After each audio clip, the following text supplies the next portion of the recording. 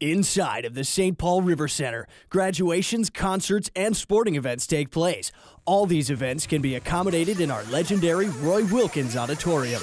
10, 9, 8, 7, 6, 5, 4, 3, 2, well, the Roy Wilkins Auditorium was built as a part of numerous different facilities back in the late 20s and 1930s. I think the best and most unique thing about the Roy Wilkins Auditorium is that it has a large flat floor for concerts.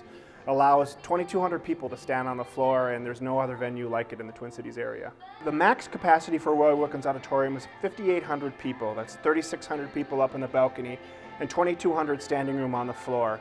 But a lot of different configurations and a lot of different things you can do with the auditorium because it has a series of curtains that will either make the, the uh, room smaller or bigger depending upon what you need. Those curtains that I just mentioned um, can actually come down and cover up the balcony and create almost a ballroom atmosphere inside of Roy Wilkins Auditorium. And because it has built-in uh, sound system and lighting, it's a great sort of walk-in, uh, uh turnkey venue for uh, banquets and private events.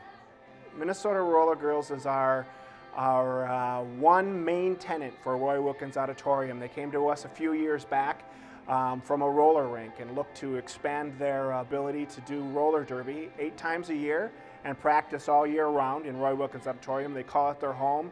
Um, we we absolutely love and adore the Minnesota Roller Girls, and um, I think we have a great partnership. The Roy Wilkins Auditorium has the versatility to meet all your needs. The Roy Wilkins Auditorium specializes in customizing their venue to meet the needs for your event.